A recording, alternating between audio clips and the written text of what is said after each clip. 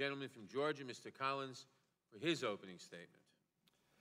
Thank you, Mr. Chairman, and thank you for all that have gathered here again. Here we go again. The theater is open and the summations are coming in. In fact, right now, we're again running over the norms of congressional oversight. We're dabbing at the edges of rubbing roughshod on the Constitution, asking for uh, things that we don't. But I am glad about one thing. I'm glad that the chairman read into the record today the Mueller report. I'm glad that he quoted, as he said, this is a quote directly from the Mueller report. I just wish my chairman would actually go read the rest of it that he has uh, been offered to read, which he has chose not to read. Um, but he did leave out one thing.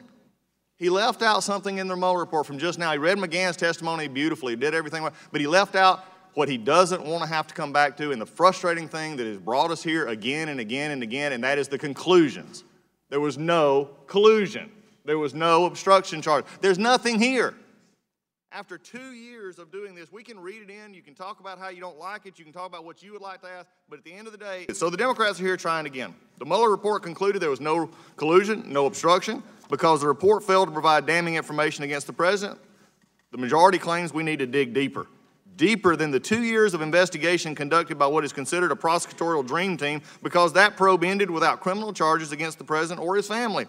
The special counsel closed up shop without giving Democrats anything to deliver to their base. Now the Democrats are trying desperately to make something out of nothing, which is why the chairman has, again, haphazardly subpoenaed today's witnesses. That move, though, has actually ensured the witness will not testify. You know, this is becoming a pattern.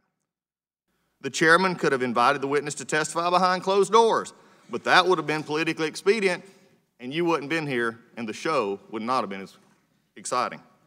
A closed door conversation would not have generated those headlines, and everything that we're looking at today, even gaveling in today's hearing without a witness, is theatrical. The cameras love a spectacle, and the majority loves the chance to rant against the administration. I just am glad today to see that we don't have chicken on the dice. The chairman orchestrated today's confrontation when he could have avoided it because he's more interested in the fight than fact finding. So don't be fooled. You may have come wanting, You may have an opinion that says everything is wrong today with the Mueller report and the president is guilty.